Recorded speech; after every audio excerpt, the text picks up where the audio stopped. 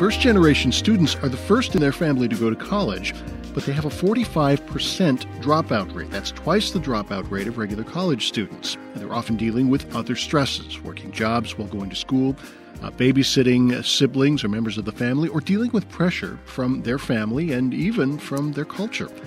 Chris Barry is a graduate student at the University of Nevada, Reno. He helps to run the school's Mosaic initiative that reaches out to first generation students and helps them stay in school.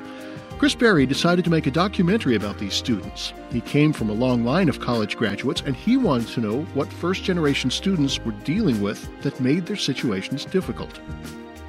The Chancellor of the Nevada System of Higher Education, Dan Klaich, said, the budget cuts of 2011 will limit access and opportunity to thousands of Nevadans, either by limiting enrollment or by pricing higher education out of their reach.